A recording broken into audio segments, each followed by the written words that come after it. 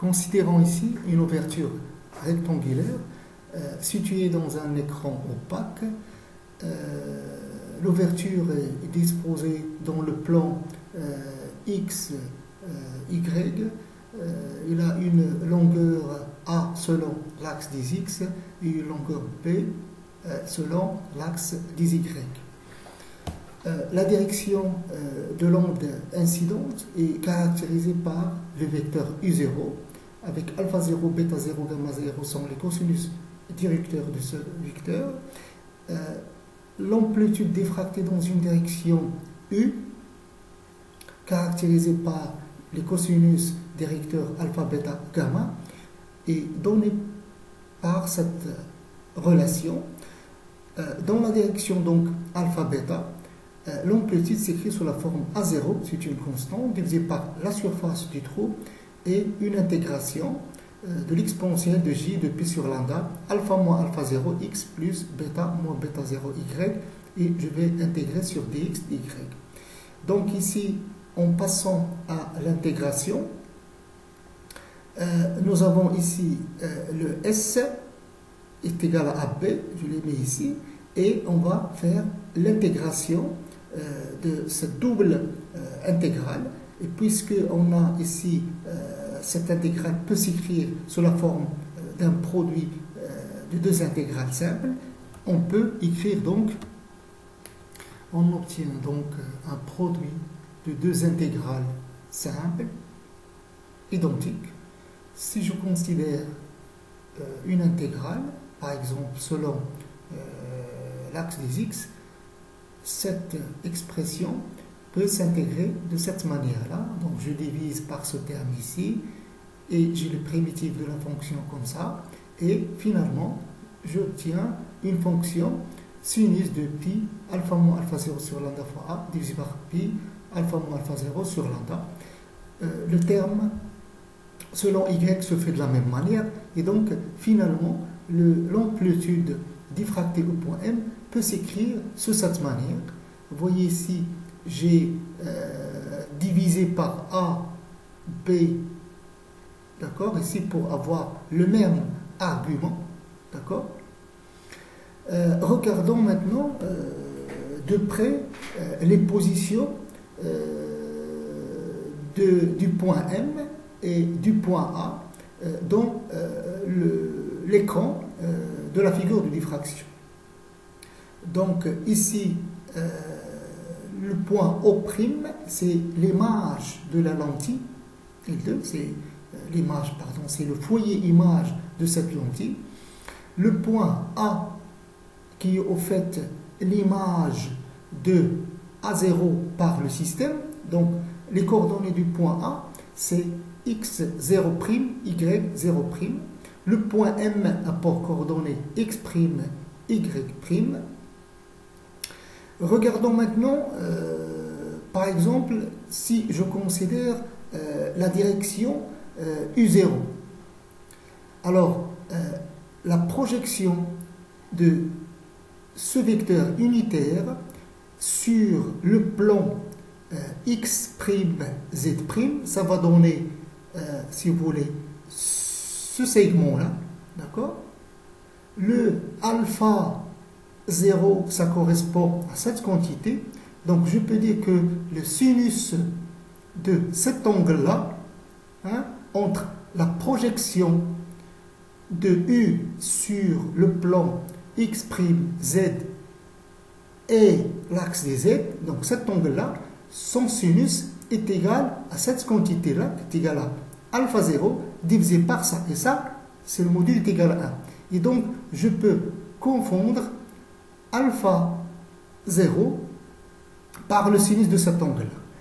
Puisque je travaille ici dans euh, l'approximation euh, par axiale, c'est-à-dire je vais considérer des angles petits puisqu'il euh, s'agit de la diffraction de Fraunhofer, et donc tous les angles sont petits, donc je peux dire que le sinus de cet angle-là hein, est égal à la tangente. Et la tangente de cet angle-là peut s'écrire sous la forme x0' sur f D'accord? Et la même chose pour bêta 0, c'est y0' sur f. Et la même chose aussi, la même démarche, je peux la faire pour le point M. Donc alpha, je peux l'écrire comme ça et bêta comme ça. Donc finalement, l'amplitude diffractée au point M peut s'exprimer en fonction des coordonnées du point M de référence, euh, c'est-à-dire le point euh, qu'on obtient s'il n'y a pas de diffraction, et les coordonnées du point M, le point maintenant usuel où on cherche à euh, calculer l'amplitude diffractée. Dans le cas de la diffraction par une fente étroite, c'est-à-dire une, une, ouverture rectangulaire avec une largeur A, mais une longueur B qui est très grande, ça veut dire infini. Alors, à partir de cette relation-là, remarquons que lorsque B est grande, ça veut dire B tend vers l'infini, ce terme-là, hein, il va normalement, il va s'annuler, sauf si l'argument ici est déjà nul. Donc, euh, dans cette condition, j'ai l'amplitude, ici il est nul, sauf lorsque y' égale y0'. Ça, ça veut dire que le point M doit avoir, doit être sur euh, euh, la même droite que le point A selon l'axe des exprimes. C'est-à-dire qu'il doit avoir la même ordonnée ou la, même coordonnée selon l'axe des exprimes. Dans ce cas, donc, j'ai cette expression est égale à 1 et l'amplitude diffractée euh, euh, dans l'écran est donnée par cette équation. Et dans cette équation, nous voyons que la variable ici, c'est x'. On n'a plus le, le y'. Et donc, la diffraction va se faire selon l'axe euh, l'axe des x, si on veut. Et donc, ça, c'est une euh, propriété, euh, si vous voulez, générale. Donc, si on a une fente donc, horizontale, la diffraction va être verticale. Si on a une fente verticale, la diffraction va être horizontale.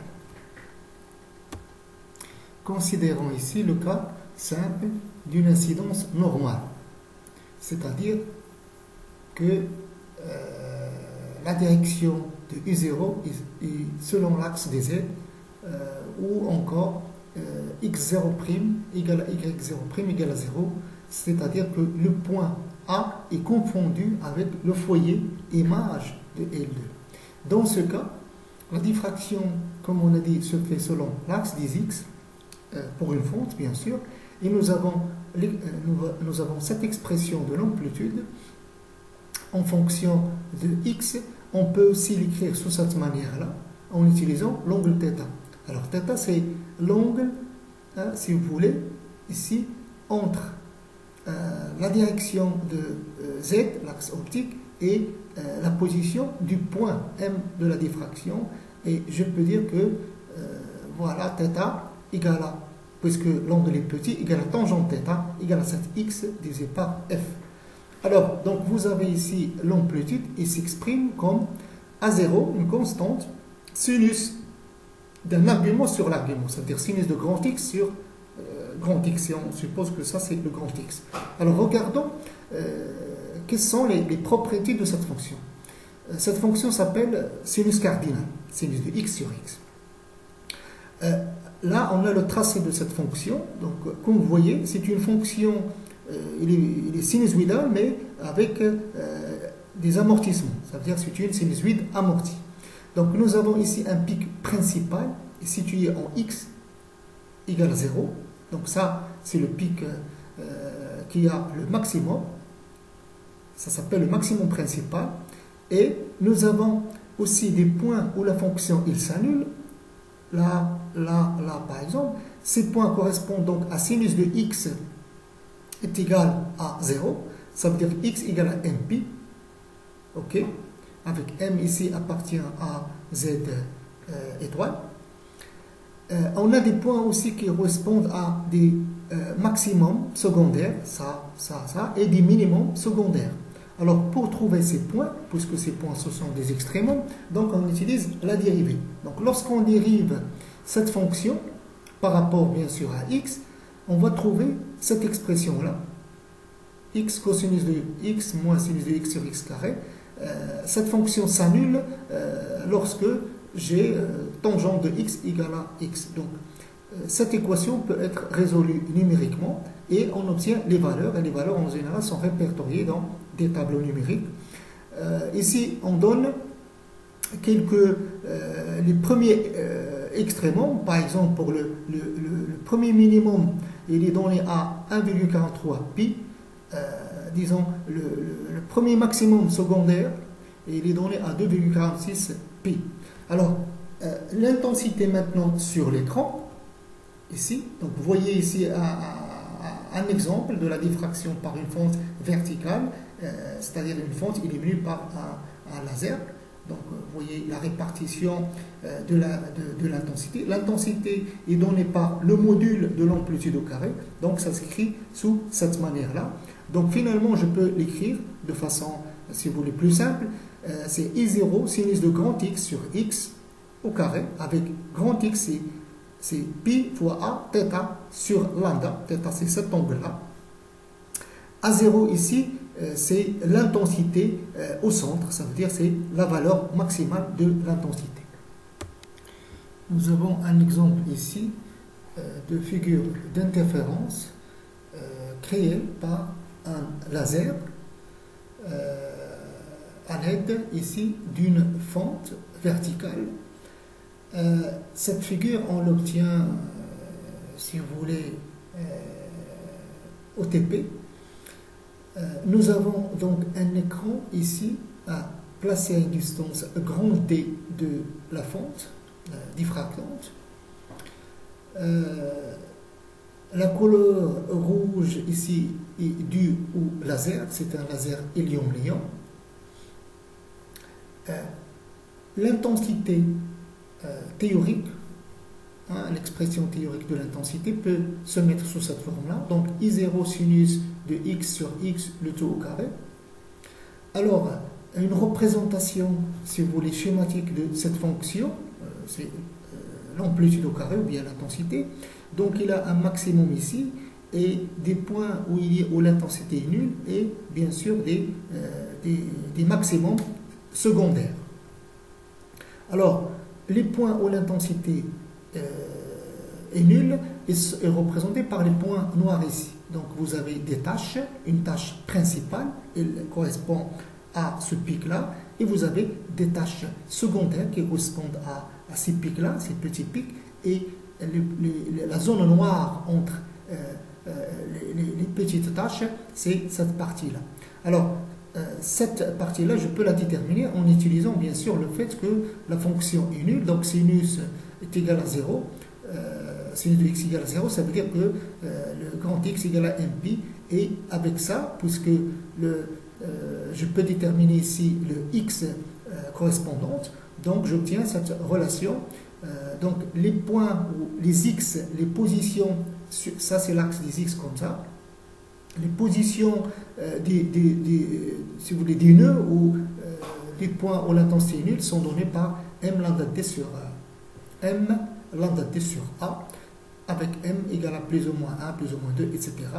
Alors, ces minimums, on les appelle euh, minimum euh, premier ordre, donc ça c'est le minimum premier ordre, donc c'est ça en fait, ça. C'est le, le minimum du deuxième ordre, le minimum troisième ordre, ainsi de suite.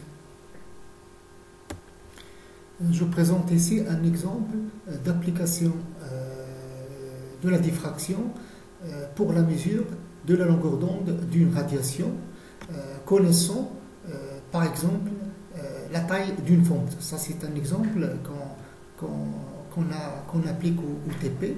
Donc vous avez le montage qu'on utilise, un laser avec une fonte, avec cette fonte a une largeur A connue, et à partir de la figure de diffraction, ici, bien sûr en mesurant l'intensité de la répartition de l'intensité sur cet écran en utilisant bien sûr une cellule photoélectrique. Donc cette cellule photoélectrique va se placer sur là une rail ici et va nous donner l'intensité, il va convertir si vous voulez, le signal euh, photonique en signal électrique. Euh, cette euh, cellule photoélectrique il liée à un système d'amplification qui permet, en fin de compte, de donner la tension. Et cette tension permet de, trouver, bien sûr, le courant et, bien sûr, finalement, on peut tracer l'intensité euh, lumineuse en fonction de la position euh, X ici sur cet axe-là. Et on obtient donc, euh, si vous voulez, et, en traçant, en, prenant, si vous voulez, les, valeurs qu'on a ici dans le tableau de mesure, on peut tracer ça graphiquement. et en fonction de x, on obtient une courbe, disons, typiquement comme ça. Et à partir des, du, du minimum, le minimum d'ordre 1 et le minimum d'ordre 2. Par exemple, euh, le minimum x1 est donné par lambda d sur a. Et donc, à partir de là, je peux déterminer, euh, connaissant a et connaissant bien sûr d, sa distance et les données, et, mesurant le, x1, on peut déterminer lambda. Donc, euh, ça c'est une mesure de lambda. On peut aussi la déterminer à partir du deuxième minimum. Voilà on obtient une autre valeur de lambda. Et pour avoir une valeur moyenne, donc on utilise euh, l'expression arithmétique de la moyenne. Euh, ici, euh, on peut aussi faire la mesure de la taille d'une fente, la largeur d'une fente, connaissant par exemple lambda de la même manière. Donc, c'est les mêmes formules qui se répètent. ici, au lieu d'avoir, si vous voulez, à déterminer euh, ici lambda, on détermine le A connaissant lambda. Si l'ouverture est rectangulaire, on obtient une figure de diffraction de ce type-là. Donc vous voyez que nous avons une tâche centrale qui qui est rectangulaire, et vous avez de la diffraction selon l'axe X et l'axe Y, ici selon les directions mixtes. Euh, euh, l'intensité, bien sûr, il est gouverné par cette relation-là. D'accord?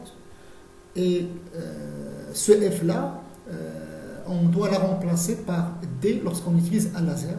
C'est-à-dire que lorsqu'on utilise un laser, on n'utilise pas de lentille, donc il suffit, les formules restent les mêmes, à condition de remplacer petit f, ou la distance focale, par grand D. D, c'est la distance entre, si vous voulez, l'objet euh, diffractant et l'écran euh, de projection. je donne ici aussi une figure de diffraction, vous voyez, qui correspond à un, trou presque carré. On voit la figure de diffraction selon l'axe des X et l'axe des Y. Là, une comparaison entre, si vous voulez, la diffraction par une fente, ça veut dire euh, un trou rectangulaire, mais avec, euh, avec euh, une, dimension, si vous voulez, infinie selon un sens, selon une direction. ok